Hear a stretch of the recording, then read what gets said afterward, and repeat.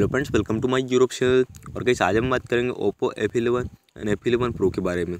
और कहीं आज का हमारा टॉपिक है four G setting four G option enable तो किस प्रकार से अपनी वैस में फोर जी ऑप्शन को इनेबल एंड यूज़ कर पाएँगे? तो कहीं वीडियो आपके लिए बहुत ही इंपॉर्टेंट होने वाली है। यह वीडियो को आखिरी तक देखिए एंड समझिए। फ्रेंड्स मुझे बहुत सारे कमेंट्स आ रहे थे कि यार हमारे फ़ोन में हम किस प्रकार से फोर जी ऑप्शन शो नहीं हो रहा है हमारे फ़ोन में? तो इस टॉपिक के बारे में कुछ बताइए। इस टॉपिक पर देखिए फोर जी ऑप्शन को किस टाइप से हम शो करा पाए तो इस टॉपिक के बारे में कुछ बताइए। तो मैं सोचा यार इस टॉपिक पर एक वीडियो बनाई देता हूँ। एंड अभी तक आपने हमारे चैनल को सब्सक्राइब नहीं किया तो प्लीज़ सब्सक्राइब कर लीजिएगा बेल आइकन बार प्रेस कर लीजिएगा एंड वीडियो को लाइक शेयर कर लीजिएगा। तो फ्रेंड सबसे पहले आप अपने फ़ोन के देखिए सेटिंग्स ओपन कर लीजिएगा एंड यहाँ पे आप आइएगा dual SIM and mobile network option पे। तो जो भी सिम में आप देखिए, जो भी सिम कार्ड में आप फोर ऑप्शन को इनेबल करना चाहते हैं, उस पर आप क्लिक कर दीजिएगा एंड यहाँ पे आप नीचे कैरियर वाला ऑप्शन पे आइएगा।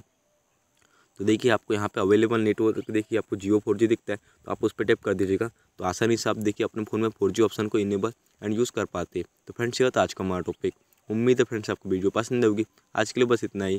Thank you